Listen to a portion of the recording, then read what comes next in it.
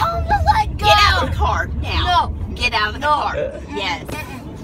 Get out No. of the car. No. You need to stop. No. Yes, I'm not gonna Tell him to let go. My knees always have to be the dash Scoot this front. part.